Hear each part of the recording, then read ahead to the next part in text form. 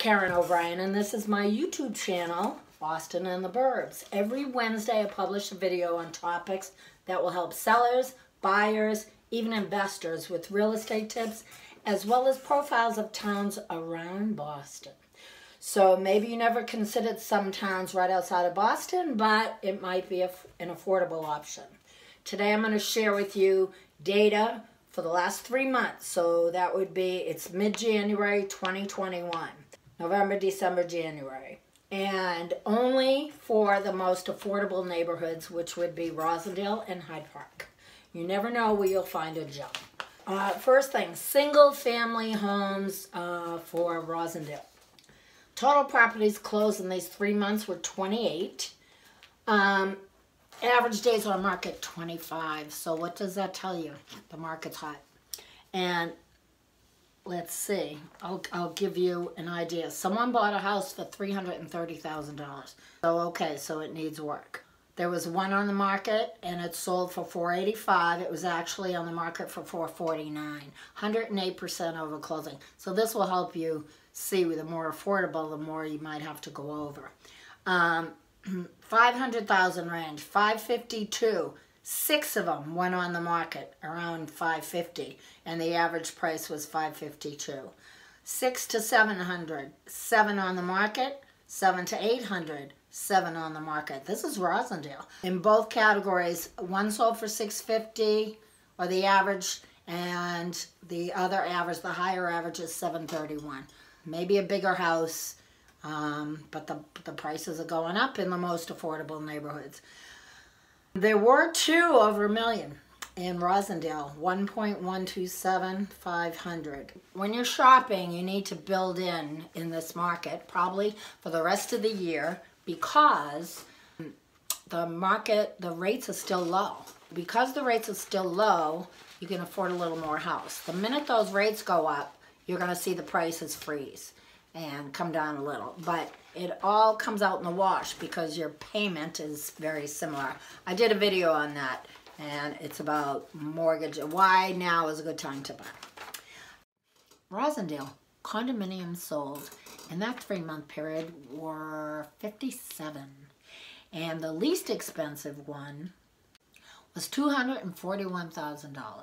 So there are still deals to be had between 350 and 400,000 average price. They were three sold and average price 382,000. Between 4 and 450, eight of them went on the market, average price 420,000. It looks like 450 to 517. That must be the sweet spot. 17 went on the market, 470,000 was the average price.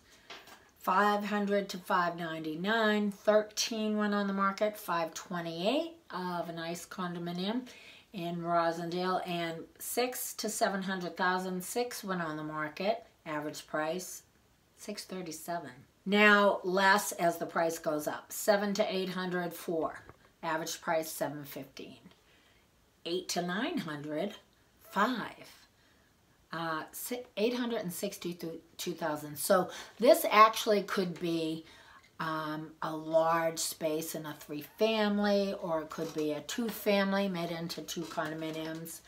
Total apartments, I mentioned 57. So the average price overall for these 57 apartments, uh, condominiums, 537,000. Highest price, 875 Lowest price, 241 So that's Roslindale condominiums. Now let's get into Hyde Park, single family homes. You know, there's three or four different sections of Hyde Park, so it's kind of worth, worth your while to drive around and check out the neighborhood. The most popular was the five to 600 price point, and there were eight single family homes that went on the market. Average price $560,000 six to 700, seven went on the market and average price 655. Um, one sold higher at 761 and two sold lower 385 437 um, and actually three average price 475 so there are single family homes. Total sold in the three month period in hyde park were 21 and the highest was 761 the lowest was 385 average 575 so between five and six you can still get a single family home in the neighborhood of boston hyde park now condos 18 I, I don't think there are as many condos. Oh, they're going to be building some near the Readville section. Uh, I'm not sure if it's rentals or condominiums. 450 and 500, there were three. 461 was the price. And between 500 and 600, three 576.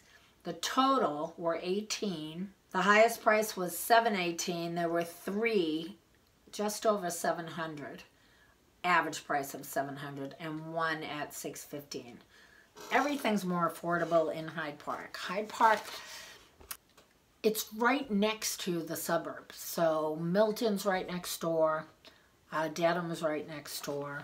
It might be worth checking out. It's kind of easy to get to the highway maybe more than jamaica plain if you're a commuter.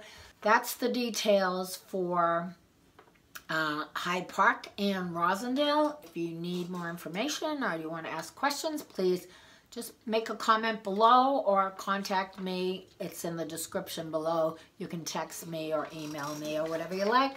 Thanks for watching. Wednesday, every Wednesday, a new video. Please subscribe. Thank you very much.